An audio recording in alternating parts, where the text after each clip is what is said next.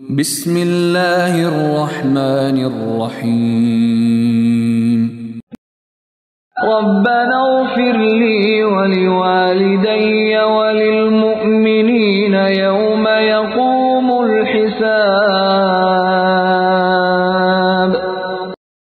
اے ہمارے پروردگار مجھے بخش دے اور میرے ماں باپ کو بھی بخش دے اور دیگر مومنوں کو بھی جس دن حساب ہونے لگے۔ رب ارحمهما كما ربياني صغيرا اے میرے پروردگار ان پر ویسا ہی رحم کر جیسا انہوں نے میرے بچپن میں میری پرورش کی ہے۔ رب اغفر لي ولوالدي۔ اے میرے پروردگار تو مجھے اور میرے ماں باپ کو بخش دے۔